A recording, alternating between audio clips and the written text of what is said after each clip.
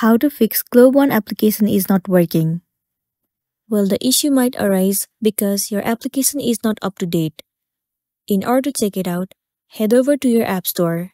It will land you on this homepage. Now, in the source bar, search for GlobeOne. Move into this app. Right here, instead of open, if it shows the option of update, then your application is not up to date. In this case, all you want to do is tap on update and update your application to the latest version.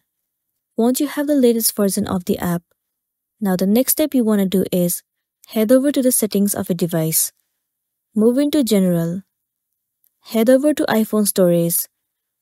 You need to search for the application GlobeOne. Once you have find it, move into it. In here, you'll see the option of offload app. Click on it and then once again click on Offload App. It means clearing the cache and the storage of the application.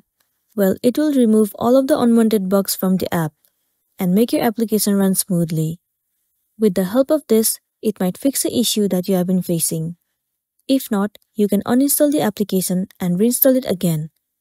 Reinstalling the app will definitely fix the issue, and then you'll be good to go. So that's all for today and this is simply how you can fix GlobeOne application not working. Make sure to smash the like button and consider subscribing if you found this video helpful. We'll see you in the next one.